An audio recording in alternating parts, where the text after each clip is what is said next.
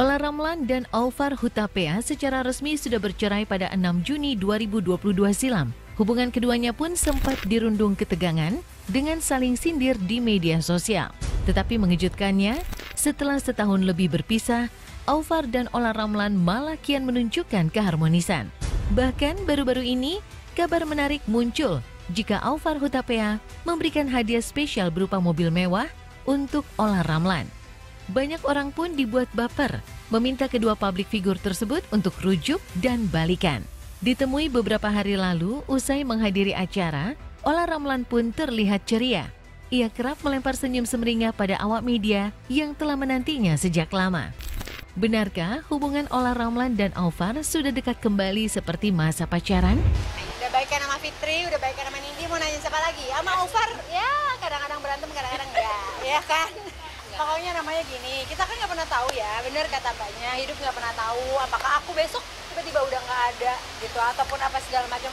Pokoknya gimana pun juga aku berharap di tahun 2023 ini semuanya yang baik-baik, semuanya yang eh, nggak uh, ada masalah lah insya Allah. Karena aku sendiri juga punya permasalahan sendiri gitu, aku sekarang hidup sendiri, kan nggak ada suami, anak aku baru kuliah, anak-anak aku juga banyak masih kecil-kecil sekolah, jadi banyak eh, hal-hal uh, yang menurut aku lebih penting untuk dipikirkan.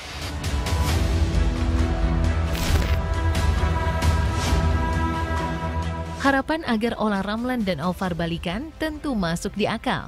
Pasalnya pasca bercerai dari Alvar, Ola Ramlan diketahui belum memiliki pasangan. Ia sibuk sendiri menjadi seorang single parent sambil menunggu jodoh datang. Tetapi sayangnya, Alvar Hutapea ternyata sudah memiliki pacar. Ola Ramlan pun akhirnya tak banyak berharap. Daripada mengharap sang mantan balikan, ia lebih memilih mencari calon suami baru yang lebih mapan dalam segala hal. Lantas, apa kiat Ola Ramlan untuk mendapatkan pasangan? Benarkah ia mengubah penampilan sampai harus memakai barang-barang serba mahal? Ya makanya mencari supaya nggak single. Kamu cariin dong siapa yang mau jadi pasangan saya. Oke, okay? udah ya. Sang mantan, sang mantan udah punya pacar. Kriterianya ganteng, wangi, kerja. Pokoknya